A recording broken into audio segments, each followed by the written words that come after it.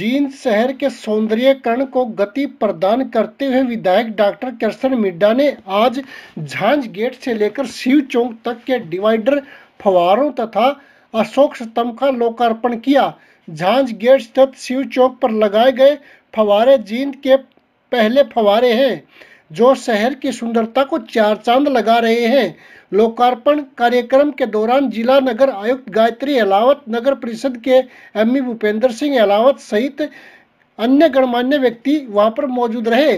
विधायक ने कहा कि शहर के सौंदर्यकरण को लेकर कोई कोर कसर नहीं छोड़ी जा रही है। शहर के सौंदर्यकरण व विकास के पहिए को अब रुकने नहीं दिया जाएगा। उन्होंने संबंधित विभागों के अधिकारियों को निर्देश दिए हैं कि वो लगातार शहर के सौंदर्यकरण को लेकर प्रोजेक्ट तैयार करते रहें, क्योंकि सरकार विकास कार्यों को लेकर सरकार के पास धन की कोई कमी नहीं है। उन्होंने कहा कि आज उन्हें अपने पिता स्वर्गीय हरिचंद मिड्डा की याद आ रही है।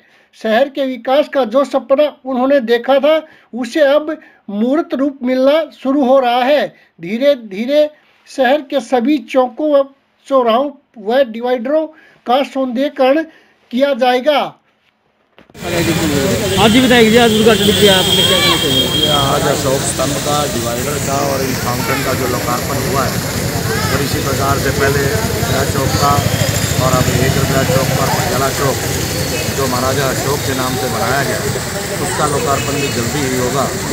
इसी प्रकार से मैं भीलवाड़ों में एक और महारानी की कृपा से, माननीय मुख्यमंत्री जी के आशीर्वाद से और लोगों की दुआओं से विशेष तौर पर जो मैंने कहा था कि आंकड़ा का पानी पिलाया जाएगा, उसकी रजिस्ट्री किसानों से, जो भी रजिस्ट्री है, सरकार के नाम आज हो जाएगी सात किसानों की।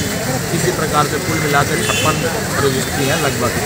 वो सरकार के नाम हो जाएँगे, जो स्वास्थ्य जन स्वास्थ्य विभाग है, उसके नाम हो जाएँगे। उसके नाम होने के बाद ये कार्य प्रारंभ हो जाएगा। और मुझे उम्मीद है, तीन साल के बाद लगभग जींद की जनता आंकड़ा का पानी यही यही कह सकता कि माननीय मुख्यमंत्री ने भागीरथी के रूप में या जिस पानी को भाखड़ा को पानी को लाने में जिन जिन लोगों का सहयोग रहा है, उन्होंने भागीरथी की भूमिका निभाई है।